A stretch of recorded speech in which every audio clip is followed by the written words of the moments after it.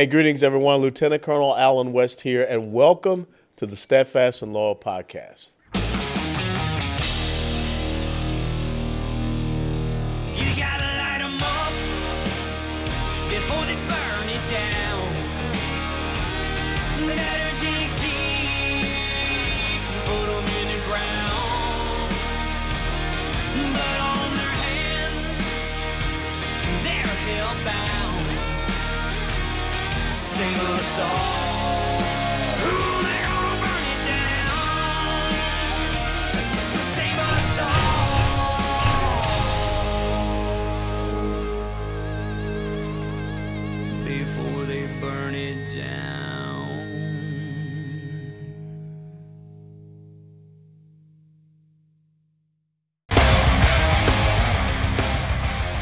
Hey folks, Lieutenant Colonel Allen West here at Watchtower Firearms. This is the uh, custom design uh, AR-15 that was just made for me. It's got my Steadfast and Loyal logo there. On this side, you can see my signature, my master parachutist wings, of course, American flag. And I just want to tell you that you can't be a great American unless you have a great American weapon. And that's exactly what Watchtower Firearms is building. Great American weapons all American parts manufactured right here in the great state of Texas. And oh, by the way, the, uh, let me see, where is the serial number on this one? TX 1836. If you're from Texas, I think you know what that means. God bless you. God bless Watchtower. Hey, dead center. Yes.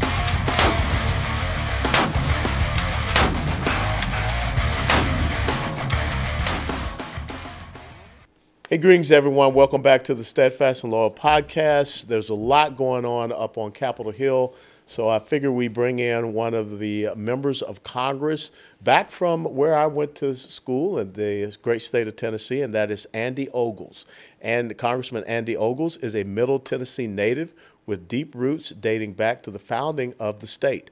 After graduating from Franklin High School, he married his high school sweetheart, Monica. They currently live on a small farm south of Columbia, Tennessee, with their three children, Adley, Drew, and Isaac. Since 2018, he has served as the mayor of Maury County, Tennessee, and was recognized as Tennessee's most conservative mayor. Andy has fought for limited government, lower taxes, and greater freedom. And in Washington, D.C., he works to preserve a better future for our children and the families of his community. He is humbled and honored to have the opportunity to faithfully represent Tennessee's 5th Congressional District in the United States House of Representatives. Congressman Ogles, thank you for joining us here at the Steadfast and Loyal podcast. Well, thank you very much, and I appreciate that very kind introduction. You know, it's uh, you know, I, I, just come from a working class family. Mm-hmm. You know, mm-hmm. worked my way up, and you know, so to be able to uh, to serve in Congress is truly an uh, an honor. And uh, now, keep in mind, in Tennessee, it's it's spelled Maury, but we say Murray. And so, uh, so we're a little country, uh, and we oh, do live back okay. in a valley, and uh, so we were hit hard by that ice storm. And yeah. so, like, I literally uh, on the way to work uh, this morning slid down my driveway. Mm. but you know what? That that's that's we we chose to live in the country. We we like living in the country, yeah. so it's a it, it's a it's a fun hazard, right? So, but well, it's an honor to be on your show. Well, God bless you, and God bless the people there, and stay safe. You know, when we talk about those basic country values, you know, the right type of worth ethic. You know, what do you see that has been the most shocking thing for you up there in the United States House of Representatives? Well, um, I, I, would say kind of two two things. One is just how hectic it is. Uh, you know, until you've been a member. You know, I, have worked in and around in politics, so I thought I had an idea, but it's mm-hmm. it's truly chaotic uh, and, and, in many ways dysfunctional. And I think that's the part that's disappointing. Is is there is a, a great deal of dysfunction. Now, keep in mind our founding fathers liked gridlock. They designed it for friction. John Quincy Adams uh, talked about how that the, the House of Representatives is where you argued and debated. And so uh, this idea that we're all supposed to bow down and kiss a ring, that's not how I'm programmed. Uh, yeah. Uh, you know, iron sharpens iron. I want to go up there and fight for freedom and liberty. And quite I would argue, I think we're at this tipping point with our republic. And so you need those voices that are fighting for fiscal restraint, like what are we going to do about this debt? What are we going to do about our southern border? All of those things that you and I know need to be discussed. Mm-hmm. But there's some in Congress that love the status quo. Uh, they're they're intoxicated by the money and the power. For me, I just want to save my republic. Well, you bring up a great point, and let's talk about that because you've got this continuing resolution that's coming up because uh, we have not been able to get to the regular order, of passing the 12 appropriations bills on time uh, before the end of the fiscal year. What are your concerns about this continuing resolution? And as it is right now, will you be supporting it? Well, I've not supported uh, any of the continuing resolutions, you know, because I do want us to get back to, to regular order. We've got to have this muscle memory where we go into session, we start passing the appropriations bills, we argue and debate, and we, we get them to the best place that they can be, and then we get them to pass. And look, I know we have a thin margin. I know it may not be pretty, but that's our job and mm-hmm. we're supposed to argue, we're supposed to debate, and we're supposed to pass these bills. And so this idea that we're going to keep kicking the can, we're going to keep con- you know, continuing to do continual resolutions, that, that's why we're in this mess. That's why we're careening towards $36 trillion in debt is because the status quo, the, you know, the money machine, if you will, that is DC is taken over and th- they love it all right, you know, because they're getting all of their appropriations, they're getting all of their, their, their it's raining money in D.C. Meanwhile, the American people, I mean, I just read an, uh, a statistic. It's 80% of America, so that's Republicans and Democrats, 80% say that they are worse off today, the same worse off under Biden than they were under Trump. Mm-hmm. That's a problem. Like th- we're the greatest country in the world. We have a robust, booming economy that should be unleashed. Energy independence is the key to our future. And yeah. what has this administration done? They're undermining the American people. And we as Congress have got to stop this nonsense with continuing resolutions. You know, you're absolutely right. And that was one of the things that I uh, did not like when I was there in Congress the omnibus spending packages, which is like a spending gumbo. But, you know, I'm here in the state of Texas, and I've been down to the border countless times you know, why why is it that the Biden administration, the left, is so uh, instinct on, I guess, undermining our sovereignty and hmm. not realizing we don't need to spend more money at the border. We just need the right policies at the border. Well, you know, and, and, keep in mind, you know, the Biden administration, you know, as part of these appropriations, they want more money for the border. In reality, what they want is more money to process more people into yeah. this country. Now, keep in mind, and, and, and I tend to be a little bit militant on this issue on the southern border. I think we should close it. I think we should shut it down. I think we stop people coming in, and the people that came in here illegally, we need to send them some back out. You know, so the state of Tennessee is roughly seven, seven and a half uh, million people. That number of people have come in mm-hmm. under Joe Biden. That changes communities that changes the, the makeup of who we are as a people. Look, I, I don't blame anyone for wanting to anyone from wanting to come here. I'd walk over broken glass and through hellfire for my children, but you got to do it the right way. Yeah. And the moment you step across that border and you step on U.S. soil and you do it without permission, you're a criminal. And we should not be allowing criminals criminals into this country. And you look at these border towns in Texas, Arizona, New Mexico, mm-hmm. it's not safe. And now every small town in America is a border town because of fentanyl. Yeah. We all know someone or, or know a family that's been touched by the fentanyl crisis. And this administration is literally undermining our sovereignty. I would argue that we're being invaded and he's doing nothing about it. Lip service, he might even talk about it, but he's lying to the American people. Well, you will get no argument from people here in Texas who see this invasion every single day. And one of the absurdities is that if you're a ranch owner and you have a little mm-hmm. small farm, you know, ranch owners will be charged with kidnapping if they detain people that are illegally on their property. So again, it seems that we're not putting Americans, their safety and security first.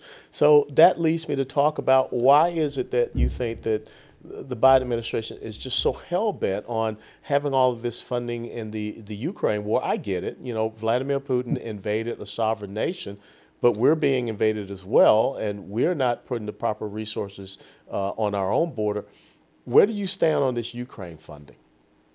Well, I voted against all of the Ukraine supplementals. I think, you know, uh, and I kind of say this tongue in cheek, before I worry about someone else's border, I think we should secure our border. Yeah. And but but the truth is is you know I don't want to see the American people, the United States of America, drawn into another conflict. Now we can go back to the whole that they they they disarmed the nukes and do we have an obligation to support them, et cetera, et cetera. Uh, th- that's a different conversation. You know, we, we have a small farm. Uh, I've got an old tractor. It's old. Uh, the brakes work most of the time, uh, and we live on top of a hill. I'm telling you, I need a new tractor. Uh, but that being said, if my roof is leaking, I've got to prioritize where I'm spending my money, right? I probably should fix my roof, right? I should probably feed my children. The tractor's going to have to wait. And this is the problem with Ukraine is we are prioritizing the Ukrainian economy, their borders over our own. And and look, I'm not going to be apologetic when I say it's America first. It's not America alone but it should be America first. And so we should not be funding another war. And what we should be doing when you look at Taiwan, when you look at the saber rattling from China, is encouraging them to spend more money on defense, uh, equipping them with what they need to defend themselves. So in two years, 15 years, however long it takes, we don't get drawn into another conflict because I see that on the horizon. It seems to be inevitable. And trust me, China's paying attention to how we react, what Russia's getting away with. But that being said, we shouldn't be funding a war in Ukraine when our southern border is wide open. No, you're absolutely right. And the fentanyl, as you know, originates out of China, and this the collusion with the transnational narco criminal terrorists, the cartels, who refine it and get across the border. Now, 2024, we all know, is an election year, and that means it's going to be an election-focused year in the House of Representatives because every two years, by the Constitution, you have to run for office. What do you think logically, reasonably, can get done in the United States House of Representatives uh, in this 2024 election year? Well, I think it is going to be a challenge. You know, I think uh, you're starting to sense it in Congress that the people's minds are shifting towards election, towards the presidential race. Mm-hmm. You know, I'll give a shout out to Ron DeSantis for, for dropping out and endorsing Donald Trump you know, when you look at the, the state of the economy, when you look how the Biden administration has weaponized the Justice Department, when you see uh, uh the monies in, in, that are being wasted and the, the, invasion at the southern border that's impacting blue cities, you got blue mayors crying for help, that it's time to unite around, around one candidate Donald Trump is going to be the nominee. Donald Trump is going to be our next president. And every dollar that is wasted on this protracted primary is time and monies that should be going elsewhere, like winning the House, like winning the U.S. Senate, and making sure that our republic is safe. 2024 is going to be one of those years. I mean, if you look through the timeline of history, there's those those those pins in history where there was a pivotal moment, whether it was an election or a crisis. And 2024 is going to be one of those pins in history that we either we turn back the right direction or we turn and continue down this path of Bidenomics, which is a joke, by the way, because he's done virtually everything wrong when it comes to our sovereignty and the, and the American people. Again, when the middle class is crying out, when you have blue mayors and blue cities saying shut down the border, you've got an administration that's out of touch with the American people because he's about kowtowing to the elite. No, you're absolutely right. And so when I sit back and look at it, I, I don't understand what issues the Biden administration or the Democrats uh, can really run on that they can show the American people they've been successful. So what do you think Republicans have to do? Because, you know, we were there 2022, red wave, blah, blah, blah, blah, blah, and it kind of petered out. What do we need to do to talk about what we're for and not so about, much about what we're against going into this cycle?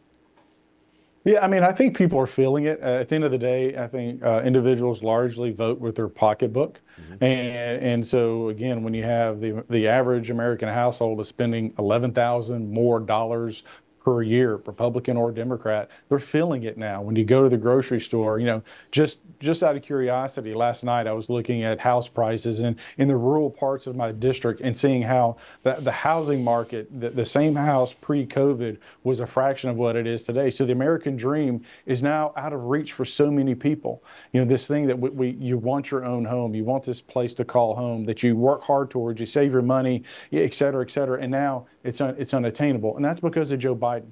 So to, to your question, though, we've got to be clear and communicate and, and be afraid, not be afraid, rather, to talk about those tough issues. But it's the economy and it's the border. And Biden administration and all of his cohorts, they've gotten it all wrong and they are to blame. And we've got to be willing to say that. And instinctively, instinctively, the American people uh, uh, see that, believe that, and feel that. And I think there's going to be some surprises. I think there's some uh, otherwise blue seats in the U.S. House of Representatives that you might otherwise predict that we would lose that we're going to be able to hold on to because of the economic situation that's unfolding before us. So, what's the political atmosphere back in the volunteer state? Well, um, you know, back here in the volunteer state, we are obviously it's a red state. I've arguably got a red district. You know, it's it's all about uh, the economy and the border. Uh, I think people are excited about the future, but it, it's not the it's not the, the the volunteer state. It's the, it's the Rust Belt that is the mm-hmm. issue, right? It's it it is Michigan, it is Wisconsin, it is Pennsylvania. Uh, I, I think thanks to DeSantis and some of the great work he did during COVID, Florida is a solid red state, but uh, we, we've got to be loud. You know, if you're a voter and you're in a red state, you've got to stay engaged. You've got to talk to your uh, member of Congress, shore them up to do the right thing, to continue the fight so the status quo doesn't take over. But, uh, you know, it's an honor to be from Tennessee. I'm a little biased. Uh, I love my Middle Tennessee. I grew up here. Yeah. Now, my family came from uh, uh, East Tennessee and migrated a long time mm-hmm. ago to Middle, but I, am very proud. And I know you've got roots to Tennessee as well well. Oh, but, yeah. uh, I appreciate all that you do and all that you've done in the past to serve our country. Uh, it, it's notable, and, and your constituents, my constituents, owe you a great thanks. Well, it's it's my pleasure. My dad raised me said uh, never have people thank you for doing the right thing, and so that's what this is about. Last question I want to ask to you: What is your message? To the American people, the folks that will be watching our uh, interview segment here on this podcast in this year, 2024. You kind of touched on it, but I really like for you to inspire them as to the criticality of this election cycle. Well, I would say, you know, I think a lot of people are apathetic, they're frustrated, they're discouraged, may even be scared. But I think I think about our founding fathers. I'm a bit of a nerd, and you know the the the uh, the the hour is darkest, right before the dawn, mm-hmm. and how discouraged they may have been at times when they're fight, fighting uh, an impossible empire, but they never gave up hope. Never fought, they, they never stopped fighting for the right thing. They continue to push forward. They continue to believe, and they prayed, quite frankly. And I would encourage your constituents to pray, to have hope, and to continue to keep up the fight. Because at the end of the day, what happens to this republic is up to us. And if we concede, if we concede, it's on us. And so uh, I'm not going to stop. I'm not going to back down. You know, as one of the more conservative members of Congress, I'm a member of the House Freedom Caucus, and I'll serve on the board of the House Freedom Caucus. I tend to be loud about where I am on the, the issues, but we need more of that. And, and, you know, we're not always going to agree, but what you can say about me and a lot of members of the House Freedom Caucus, you know where we stand. We, we put our plan out there, and we keep fighting, and we keep moving forward. And if we make a mistake, we're going to own it and we're going to keep fighting and we're going to keep moving forward. But again, I appreciate all of you do, and I appreciate all of your listeners as well. Well, thank you so very much. Congressman Andy Ogles of Tennessee's 5th Congressional District. I appreciate you joining us here at the Steadfast and Loyal podcast. How can people follow you and support you from all across the nation and what you're doing there in Tennessee and in the uh, United States House of Representatives? Yeah, well, easy to find, andyogles.com. You can go to Rep Ogles on Twitter or X or Twix, whatever you want to call it. uh, but uh, we're out there. We've got a newsletter you can sign up for. We're not going to bombard you with information, but we give you relevant information and we try to give it to you in a timely manner. So feel free to check us out, or reach out to us, and uh, keep up the fight. And I don't know if anyone has told you, but you do have a striking resemblance to Senator Rand Paul. okay. yeah, you, well, you I don't know have, if that's a good thing or a bad thing, but well, I, mean, he's he's a straight shooter. He's a good guy, and uh, but you got that resemblance. And uh, and again, thank you for your endorsement of President Trump. And and I agree with you. We need to get this whole primary thing behind us and get our resources focused. So thank you yes, for sir. joining us here. And ladies and gentlemen, thank you for joining us on this segment of the uh, Steadfast and Loyal podcast. If you enjoy this segment, enjoy this podcast, please click the like button, share for others, and support great members of Congress, uh, such as Representative Andy Ogles, because many people say, you know, who are the good guys? Well, Andy Ogles is one of the good guys. And until next time, be steadfast and loyal. Before they burn it down.